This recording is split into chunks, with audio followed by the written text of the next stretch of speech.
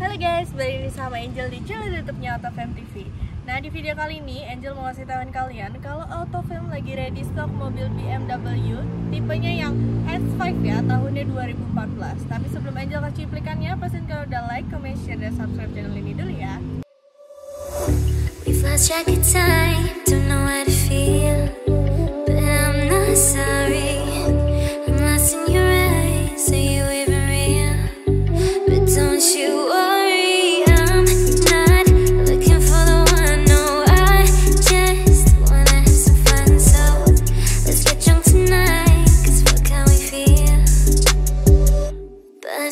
Now.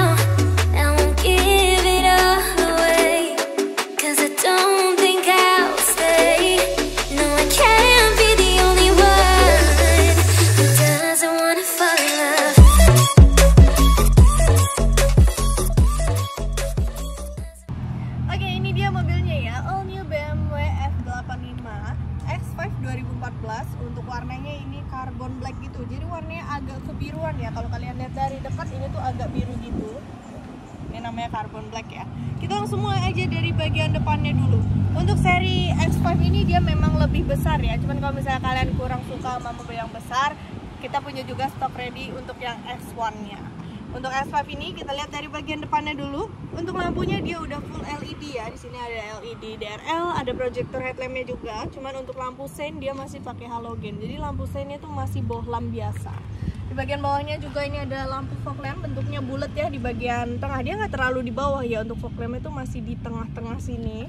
Untuk grillnya, ini grill BMW banget ya. Grill BMW itu selalu kayak gini ya. Ada dua list chrome yang terpisah.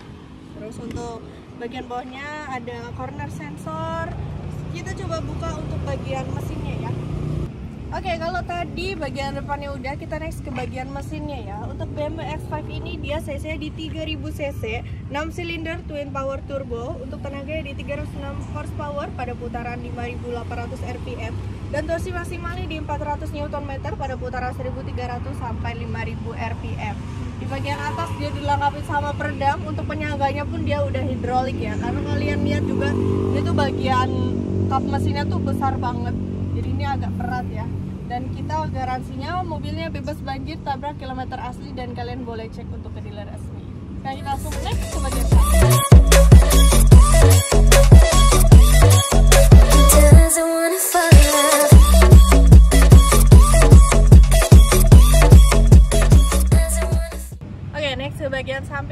kalau untuk BMW X5 ini dia itu cuma dua baris aja ya jadi cuma 5 seater. Tapi sebelum kita ke belakang-belakangnya kita bahas dulu dari bagian bannya. Untuk bannya ini ukurannya di 255 per 50 untuk ringnya di ring 19 ya. Di bagian kirinya ini dia ada emblem M editionnya terus di bagian bawah kiri kanan ada ya. Ada emblem X Drive 35i terus di bagian spionnya spionnya dia udah retract udah elektrik juga di bagian pinggirnya pun udah dilengkapi sama lampu sein dari bagian atas sama bagian bawah dia ada aksen niskrum ya. Jadi dari atas sampai bawah dia ada aksen niskrumnya dari bagian atas itu ada roof rail terus ini handle pintu dia model-model tarik.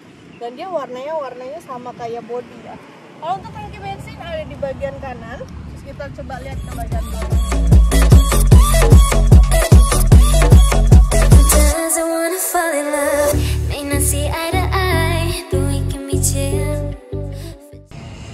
lanjut lagi ke bagian belakangnya ya. Untuk bagian belakangnya dia untuk antenanya itu udah pakai modelan hiu. Terus di bagian belakangnya ini ada high mount stop lampnya di bagian tengah.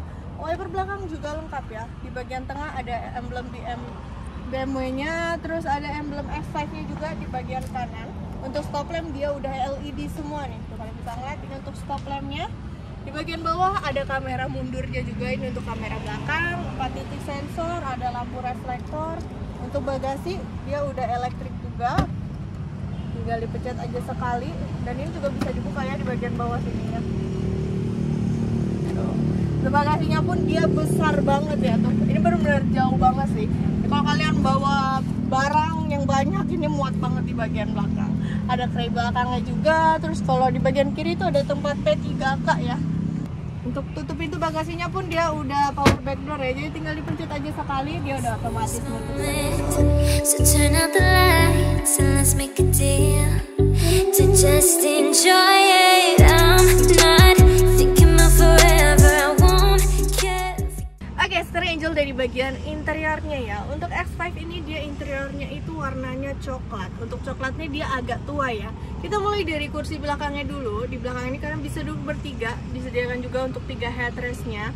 Tapi kalau misalnya kalian mau duduk berdua atau sendiri aja, bisa manfaatin armrest yang ada di bagian tengah sini. Ini. Dan untuk armrest tengahnya ini dia disediain dua cup holder juga ya. Dan untuk posisi duduknya nih yang paling penting ya. Kalau duduk di belakang ini tuh posisinya cukup enak ya karena kursi belakangnya itu nggak terlalu tegak. Jadi kalau kalian perjalanan jauh pun nggak akan pegel. Untuk headroomnya ini untuk headroomnya masih ada satu jengkal ya. Jadi masih jauh nih di bagian atas. Dan legroomnya pun masih ada satu jengkal. Jadi emang dia nggak terlalu sempit ya. Masih ada space sedikit. Untuk bagian door trimnya ini ada tray, tray samping kanan kiri ada ya kecuali di bagian depan dia nggak ada sini untuk handle pintu bagian dalam ya. Dia tuh aksennya silver gitu. Dan di sini ada ambient lightroom ya di bagian bawahnya. Dan untuk ambient lightroomnya tuh dia warnanya biru nih kalau sekarang. Untuk armrestnya dia udah soft touch. Pengaturan kacanya empat kaca ini semua udah auto. Di bagian bawah ada cup holder ada door pocket. Di bagian bawahnya lagi tuh ada emblem M edition ya juga ya di bagian footstep bawahnya itu.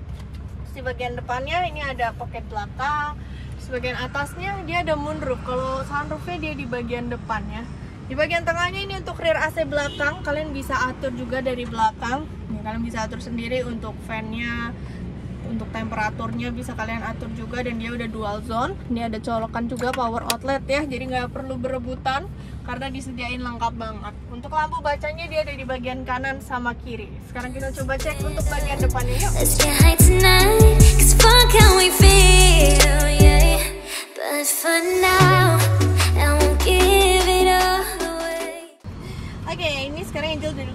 drivernya ya. Untuk pengaturan kursi depannya dia udah electric seat. Dan untuk elektriknya ada di bagian samping bawah. Dan untuk bagian door trimnya sebenarnya hampir sama kayak yang di bagian belakang sih. Tapi kalau di bagian depan tuh ada central locknya. Terus untuk pengaturan kaca, empat kaca sudah auto semua ya. Jadi pengaturan untuk spionnya, spionnya udah retract, udah elektrik juga.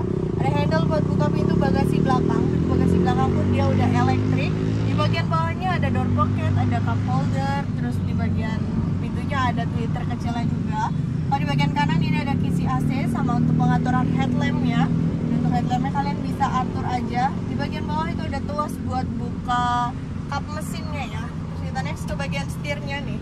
Untuk setirnya ini sendiri dia udah dilapisin kulit. Dan di bagian kiri ini untuk cruise controlnya ya. Kalau pedal shift ada di bagian belakangnya. Kalau bagian kanan ini untuk modenya kalian bisa atur. Terus kalau kalian mau atur volume atau mau angkat telepon ini bisa juga. Untuk pengaturan setirnya ada di bagian bawah dan ini tuh udah tilt dan teleskopik ya. Dan dia udah elektrik nih pengaturannya. Untuk pengaturan wiper ada di bagian kanan. Kalau untuk lampu sen dia ada di bagian kiri. Kilometernya di 40.000 dan ini kilometer ya bukan miles dan kita jamin kilometernya asli nggak ada gulungan.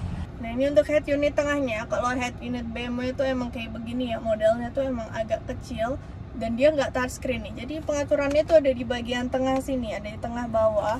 Untuk pengaturannya kalian tinggal puterin aja ya. Kalau mau ke menu tinggal pencet juga nih untuk menunya kalian bisa atur untuk telepon, navigation, multimedia. Atau kalian kalau mau ngeliat settingnya ini bisa semua tuh.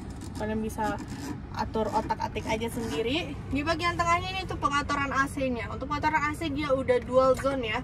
Kalau kalian mau pakai CD, DVD, mendengar DVD juga ini bisa. nih. Tinggal masukin aja DVD yang di bagian dalam tengah sini.